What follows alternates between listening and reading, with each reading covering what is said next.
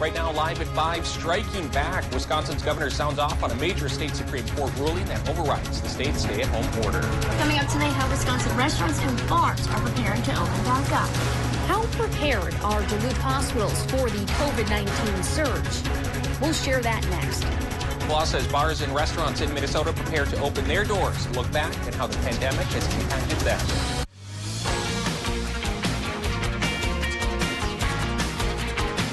You're watching Live at 5 on Live Local CBS 3.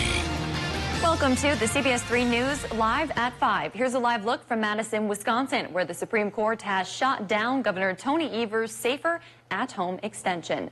Good evening. I'm Kristen Vake. And I'm Anthony Matt. Thanks for joining us. The last 24 hours have been full of confusion, chaos, and in some cases, celebration all over Wisconsin after the Wisconsin Supreme Court abruptly ended the state stay-at-home order. Let's start by unpacking the last 24 hours. It was right here during our 5 o'clock news last night that we told you the state Supreme Court blocked Wisconsin's Safer at Home order. They said the ruling overstepped boundaries and all future or orders have to go through the state's legislature legislature that left some businesses, bars, and restaurants wondering what came next. In the hour following that ruling, the Tavern League advised bars to reopen, and many did exactly that. Some other businesses have followed suit, while others continue to wait.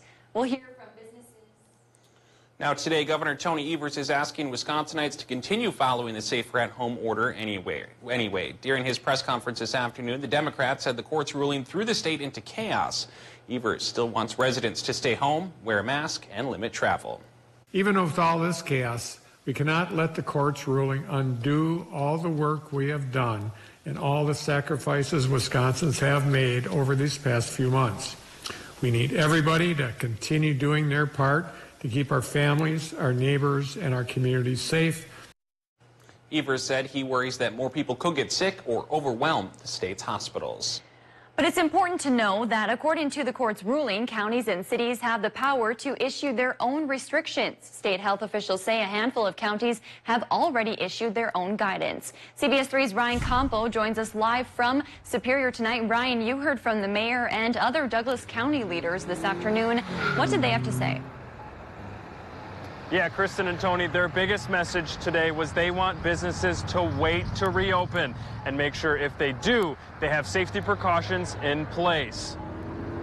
Paine and county leaders said they're still having conversations about exactly what that will look like and that they plan to put a guide together for reopening. But in the meantime, they're referring business owners to the Wisconsin Economic Development Corporation's website, which they say is state-approved guidance outlining things like sanitation, employee health, and spacing people out. Again, they're asking businesses to wait to reopen until they have these things in place.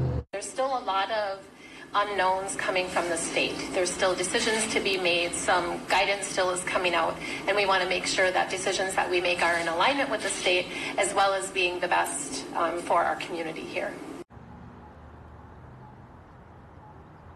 Kathy Ronchi, Douglas County's public health officer, says if the county has an outbreak, they will be doing contact tracing. Now, if that tracing leads to a certain business and their practices aren't in alignment with what they are recommending, Ronchi says that business could be closed. Now, she says she obviously doesn't want that to happen, which is why they are announcing these guidelines right away. And Ronchi says that if you don't feel comfortable going outside, to just stay home. Some uh, good explanations there. I know a lot of folks confused over the last 24 hours. Thanks, Ryan. Well, Superior will hold its 4th of July fireworks this year, but the mayor says they'll light them off from the fairgrounds instead of near Barker's Island. The parade will also see some changes to help prevent crowds. Duluth announced earlier this week they've pushed their fireworks to Labor Day. Some businesses in Superior are taking full advantage of the court's ruling last night, while others are not. We spoke with Gronk's Bar and Grill in Superior. Owner Mike Moore says the court's ruling was a surprise at first. They had made plans for May 26th reopening, but after last night's news, they decided to open just hours later. Moore says they had a handful of customers at the bar last night and today as well. When asked why they decided to reopen, Moore said, quote, we're Gronks, and that's just what we do. He says they're following state and CDC guidelines by keeping one table in between all customers and seating at a limited capacity. Moore adds they've increased sanitation efforts, including wiping down all menus. Now, since last night's opening, the owner says they haven't run into any issues. And we've got the paperwork out front that shows what we're supposed to be doing and uh, what they're asking us to do. So we're, we're doing our best with short notice. Moore says many of their food and liquor orders won't come for another week when they initially planned to open. Moore says right now they've adjusted their hours to close at 8 p.m., but he says if things continue to run smoothly, they'll start to resume normal hours. Now, not all of Superior's bars and restaurants are operating like Gronk's. Many businesses are continuing to offer curbside pickup and delivery. Coming up at 6, we'll hear from another Superior restaurant that's taking some time to plan before reopening. Meanwhile, Ashland and Bayfield counties issued a joint travel safer advisory today. It recommends residents check with local communities for specific safety updates and closures before traveling. It also asks residents to respect safety protocols when visiting local businesses. You can view the entire advisory on our website. And here's a quick look at the number of coronavirus cases in the region. In Minnesota, there are more than 500 new cases and 34 new deaths. In Wisconsin, there are nearly 400 new cases and 13 new deaths. And in Michigan, there are 1,200 new cases with 73 new deaths. Worldwide, there are 4.5 million cases, 300,000 deaths, and 1.7 million recoveries. All right, Dave joins us for a quick look at the weather. Dave, gloomy start to the morning, but I think I saw the uh, sun poke its head out there earlier this afternoon. But that's just a break in between low pressure systems. The first one brought us that rain yesterday and through this morning. Then we got the break midday like I was hoping, and now there's another smaller low towards North Dakota that's coming to call tonight to keep the rain chance going till about midnight or so. Mm. So let's take a live look at what's happening at Cass Lake. I fired up one of our farthest west cameras to see if there were any signs of trouble in the sky, and it is a gray sky out that way. There's a slight chance the second low tonight could bring us couple of thunderstorms, just the isolated non-severe variety though. So there's the situation. There's yesterday's low already to the east. There's the new one coming in from the west. And the result is about a 50, 60% chance of rain tonight for a few more hours. But then the day planner tomorrow shows mostly sunny sky coming our way once again and high temps go to about two degrees warmer than normal. Will that last through the weekend? I'll show you the seven day with the details in a few more minutes. Thanks, Dave. Still to come on Live at 5, Ashland is providing some guidance for businesses in their area. Plus, a second business in Hibbing has a confirmed case of COVID 19. City by City is next. And tonight at 6, we're hearing local reaction to the Wisconsin Supreme Court ruling. You're watching Live at 5 with Kristen Vake, Anthony Matt, and weather with meteorologist Dave Anderson on Live, Local, CBS 3.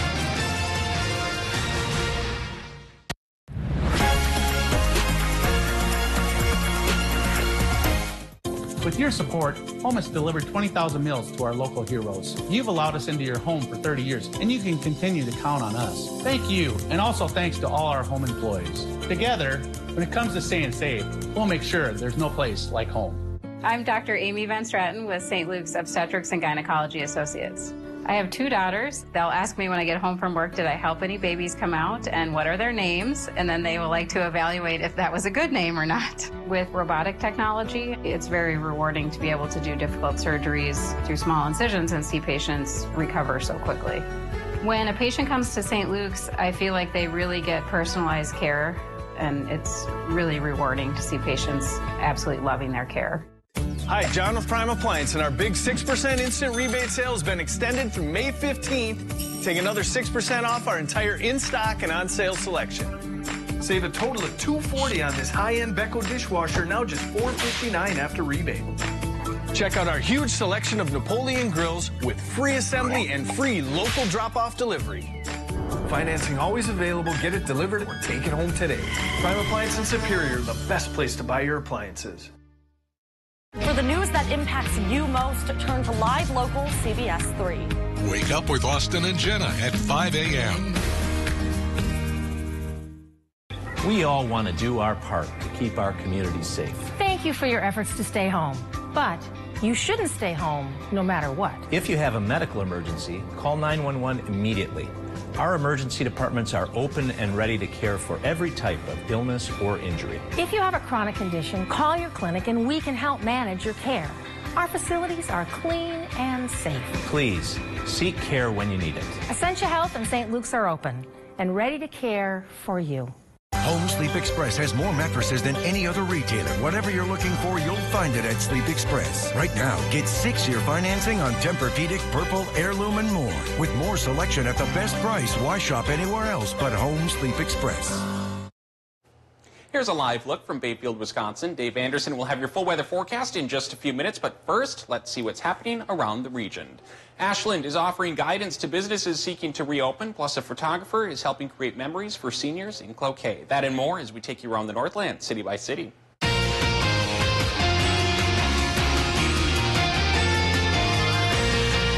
Communities across Wisconsin are taking their next steps following the state Supreme Court's ruling to end the stay-at-home order. In Ashland, the county is advising local businesses to take precautions as they wait for guidance from the state legislature. The county is suggesting businesses adopt a plan that covers disinfecting services, surfaces, screening staff, and implement social distancing. Moving now to Hibbing, where an employee at Super One Foods has tested positive for COVID-19. Super One is the second business in Hibbing to have a confirmed case of the virus.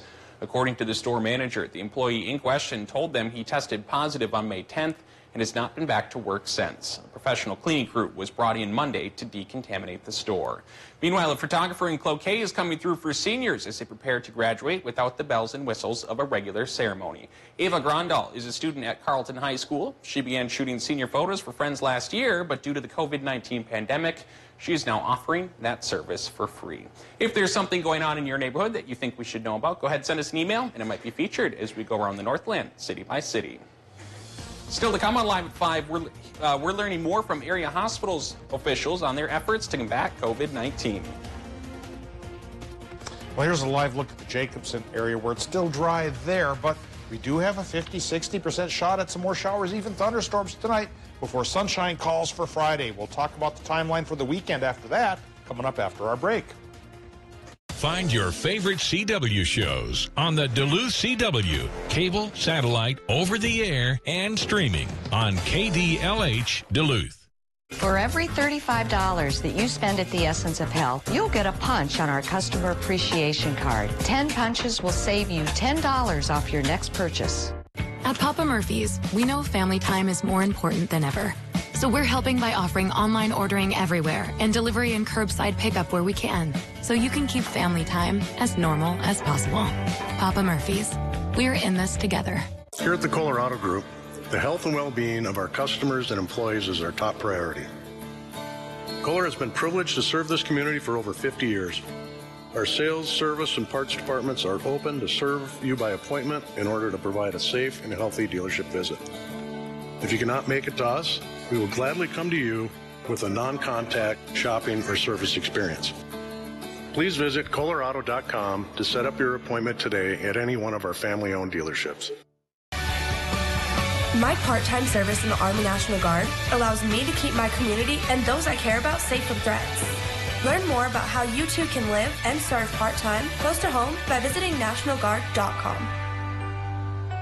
Has your roof seen its better days? Call Peak Construction Roofing today for your free estimate at guaranteed affordable rates. Peak Construction can finance you and will help you step by step from start to finish. Call the best, Peak Construction Roofing. They'll do the rest. Let us take care of you. For the news that impacts you most, turn to live local CBS 3. Wake up with Austin and Jenna at 5 a.m. Get your new John Deere tractor from Duluth Lawn and Sport, the region's largest power sports dealer. You work hard for your money and deserve to see it go the extra mile. Join us Wednesday mornings and hear from local experts on tips to better manage your finances in Eye on Money on live local CBS 3. Brought to you by MPPL Financial.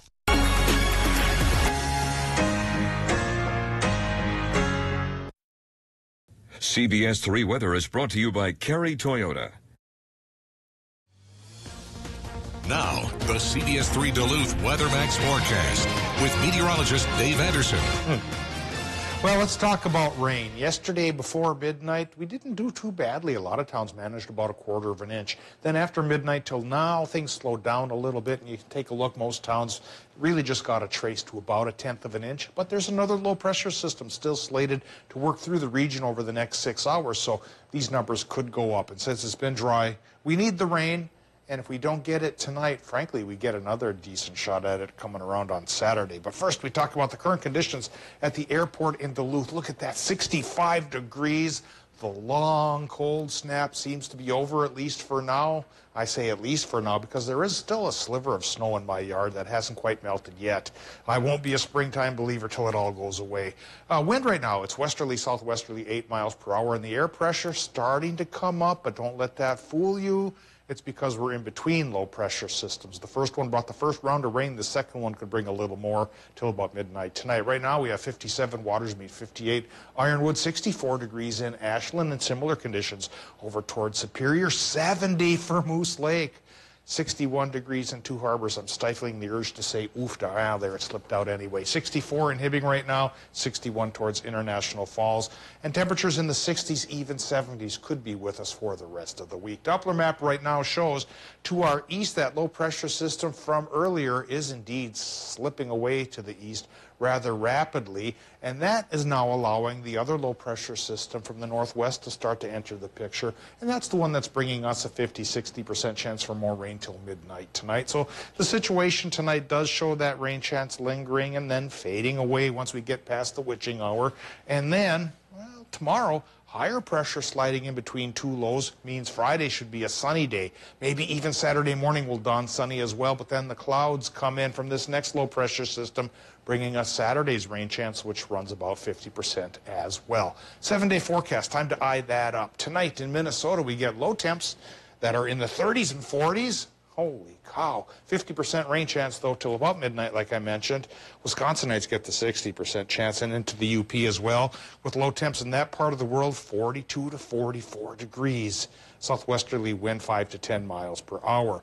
Tomorrow, well, that little higher pressure cell wedging in between the two lows means a clear to partly cloudy sky for Wisconsin and the UP with high temps running about 60 to 68 degrees into Minnesota, 50s by the lake and 60s inland. Clear to partly cloudy sky.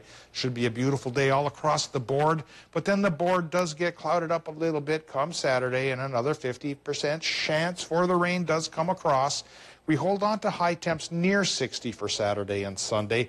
50% chance of rain Saturday afternoon, Saturday night becomes a 40% chance for shower Sunday morning, with then sunshine building back in in the afternoon which leads us to 65 to 70 Monday and Tuesday with sunshine. Then next Wednesday and Thursday, Tony, like we've been talking about for a couple of days here, it could become warm enough into the mid 70s on Wednesday for a chance for thunderstorms. Mm-hmm. In the meantime, Monday, Tuesday, Friday, looks like spring has sprung. My goodness. Those yeah, and when that last one foot square patch of snow melts away in my yard, hopefully tonight, Yeah. spring will officially, in my mind, be here. Snow Watch 2020. There we Thanks, go. Bum, bum, bum. St. Luke's and Essentia Hospital officials are chiming in after Governor Walz ordered Minnesota's stay-at-home order will be lifted on Monday. CBS 3's Leanne Valdez has more. And so we really appreciate At their last scheduled press conference Thursday morning, St. Luke's and Essentia officials agreed come Monday as more businesses start to open up, Twin Port residents should not let their guard down. This public health crisis isn't over. We're going to be dealing with this for months, possibly years. While hospital officials didn't address the situation in Wisconsin, they said they both respect Governor Walz's latest order and says he's in a tough position. He has to balance the health and safety of the community with the economic health of the community. We're very appreciative to the governor and again believe he's approached this in a very deliberate and thoughtful way. When asked if they think the new order will lead to a surge in patients, Will it move up the surge a little bit? You know, potentially.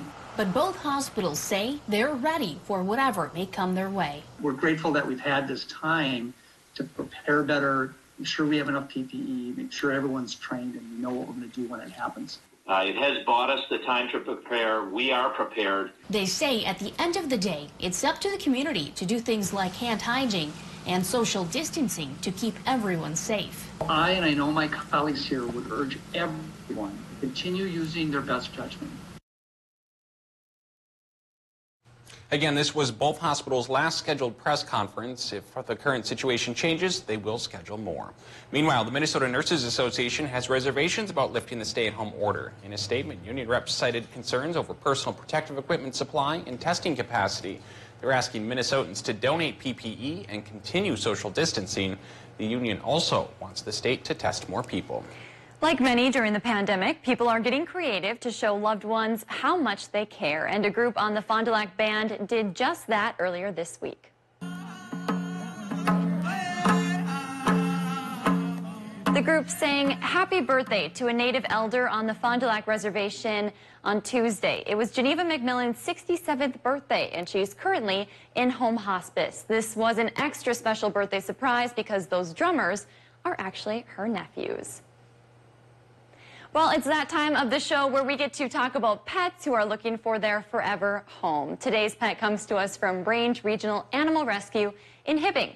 Meet Seymour. He's a 12-year-old domestic short hair with orange and white coloring. I think we're going to see Seymour in a moment here. Seymour can be described as a chill, go-with-the-flow kind of cat. He does have a dominant personality, so he won't mesh well with other alpha male type cats, but is just fine with dogs as long as they aren't too crazy. Seymour is currently being treated for an eye infection, but it is getting better. There he is. He will still need to be neutered before he can leave. If you are interested in adopting Seymour, you can call the number on your screen to set up an appointment. And for some extra pet news today, we are happy to announce that Zan, a pet we covered on the show previously, has found his forever home. Way to go, Zan. Still to come, hair salons are among businesses opening their doors in response to the Supreme Court ruling in Wisconsin. We are strong and we'll get through this together, but these are stressful times. Reach out to someone, connect with your friends, and know that you are not alone. Visit wearebroadcasters.com slash hope, furnished by the National Association of Broadcasters and this station. During this COVID 19 crisis, everyone is experiencing raised stress levels. Business is disrupted, and consumers are scared. The result can create tense situations. The Better Business Bureau encourages everyone to treat each other with grace, respect, and empathy. We need to work together. When life begins to normalize, people will remember how they were treated during this time. If businesses and consumers treat each other fairly, these relationships will last far beyond this crisis. Clarity, Honesty. Trust. At Live Local CBS 3, these are more than just words. They're a promise, a promise that in times of uncertainty, In times of fear, we're here for you.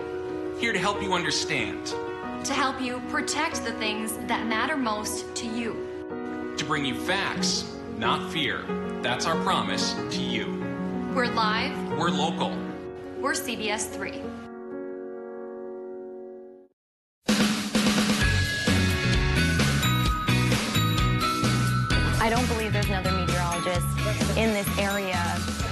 Experience and years that Dave has.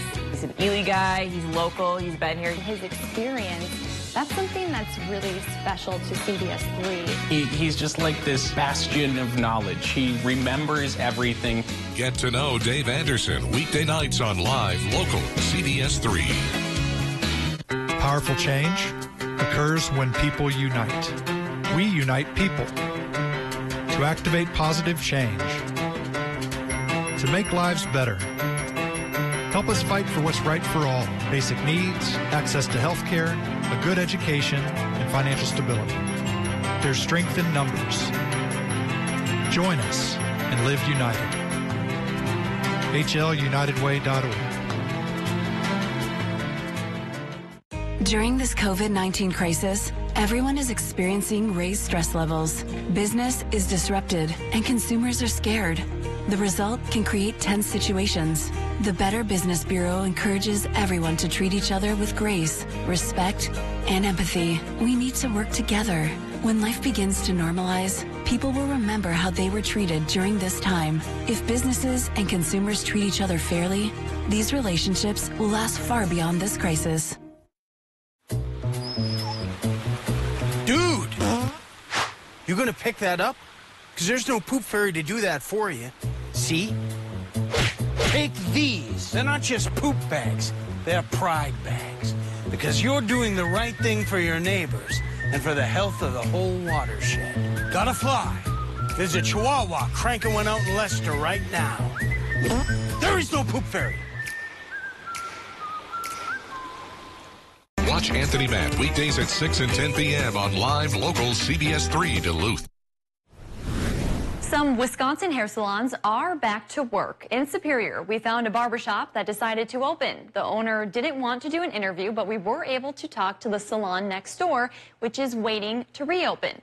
Pat Johnson owns Salon on 59. He spent today brainstorming what he thinks is the safest way to open his doors. He says when he does eventually open, he will have all of his employees wear face masks and gloves and give them more time between appointments for cleaning. He says he would rather be safe than sorry, so he's waiting to hear more guidance from the governor. Well, we'd like to open right up. I think we're prepared, but uh, on the other hand, we're on the more cautious side because, uh, you know, we don't want uh, you know, the people here to get sick or the people coming in to get sick. It's, it's a scary deal. Meanwhile, Minnesota's governor announced yesterday that hair salons and barbershops can't open until June 1st. Brianna Honer owns the Color Lounge in Duluth. She says she has some mixed feelings about Wisconsin's versus Minnesota's rulings. It is discouraging to know that uh, just over the bridge, they're able to open up and um, conduct business, but it is also, I'm glad for them. Honer added that she'll be taking extra precautions once she does open, and she's excited to get back to work. Meanwhile, in Minnesota, Governor Walz's order says Minnesota churches and places of worship must still limit their gatherings to just 10 people. We talked with Kyle Eaton, who is the lead pastor at Rock Hill Community Church in Duluth's Lincoln Park neighborhood. He says this change won't be affecting how he has held his service for the last few months. This is because it takes 10 staff members to put on their live stream. Eaton says the biggest change will be with the church's small groups can now meet in person rather than virtually. He added that small group worship is extremely important to well-being. Church isn't just a service, it's a, it's a community of people. And I think what people are missing, it's not the building. People are missing relationships with other people, the connection, the smiling faces, the, the sense of being in something together. We are still waiting to learn what the Diocese of Duluth has planned. Meanwhile, after Wisconsin's Supreme Court order, the Diocese of Superior says they won't be making any drastic changes soon. Diocese reps say they want to let the dust settle before deciding whether to continue holding Mass in person. Coming up on the CBS Evening News, whistleblower Rick Bright tells Congress our window of opportunity is closing to stop the pandemic from getting worse, warning the U.S. could face the darkest winter in modern history. Plus, our series Racing to a Cure, how a drug combination could be a one-two punch to knock out COVID-19. And we'll meet a five-year-old stepping up as America's cutest substitute teacher. That's all coming up tonight on the CBS Evening News. For the news that impacts you most, turn to live local CBS 3. Wake up with Austin and Jenna at 5 a.m. At UCare, we've been decomplicating Medicare plans in Minnesota for a long time. In fact, we've been offering Medicare Advantage plans longer than anyone else. Our Medicare Advantage plans are affordable, and 96% of Minnesota providers accept UCare. So if your provider practices at any of these clinics or hospitals, you can likely keep them. To learn the basics and see how UCare Medicare Advantage plans compare to others, visit ucare.org slash TV.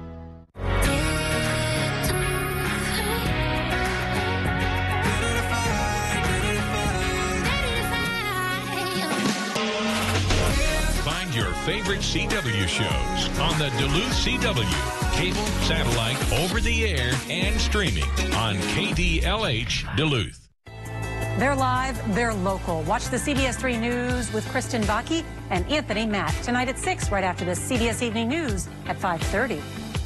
For breaking stories that impact the Northland most, turn to CBS 3. Watch Anthony Matt weekdays at 6 and 10 p.m. on live local CBS 3 Duluth. For the news that impacts you most, turn to live local CBS 3. Wake up with Austin and Jenna at 5 a.m. We want to say thank you Thank you. to the first responders. Thank you. To the truck drivers, And delivery people. Thank you. Thank you to the doctors, the nurses, and all the hospital workers. the grocery store workers, The janitors. and sanitation workers. Show them kindness, patience, and gratitude. They are the real heroes. Thank you for all of your bravery and hard work. Thank you all. Find your favorite CW shows on the Duluth CW, cable, satellite, over the air, and streaming on KDLH Duluth. Welcome back to the CBS 3 News live at 5. Here's a live look over the harbor. Let's take a quick look at some of today's top stories and a peek at what's coming up tonight at 6. Wisconsin Governor Tony Evers is asking Wisconsinites to stay the course following the Supreme Court's decision to shoot down the state's Safer at Home extension during a press conference. Today, the governor said the court's ruling, quote, um, threw the state uh, into chaos. He is encouraging residents to continue to stay home limit travel, and wear a mask. And some businesses in Superior are taking full advantage of that ruling, while others are not. Gronk's in Superior was among those businesses that made the decision to open their doors just hours after the announcement was made last night. Meanwhile, Thirsty Pagan, also in Superior, says they're going to wait to open while other businesses are planning to reopen this weekend. And coming up tonight at 6, you, the viewers, had a lot to say in response to the Supreme Court's decision. Coming up at 6, we're hearing arguments from both sides of the debate from viewers like you. That's your news tonight at 5. The CBS Evening News is up next. Thanks for watching. We'll see you at 6.